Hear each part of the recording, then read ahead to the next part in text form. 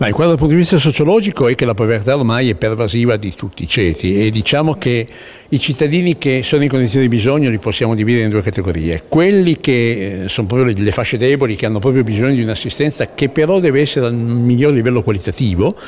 e quelli che invece sono in quella che viene definita la sofferenza da non lavoro, cioè ehm, la mancanza di lavoro, la cassa integrazione e quant'altro. Per questi occorre davvero cominciare a creare dei progetti strategici e strutturali creando il più possibile con tutte le forze presenti nei territori delle opportunità perché possano entrare nel mondo del lavoro. Solo così si potrà combattere effettivamente la povertà dando a queste persone delle prospettive per la loro vita e soprattutto per la vita dei figli perché non dimentichiamoci che laddove c'è un padre che non ha presente e che non può quindi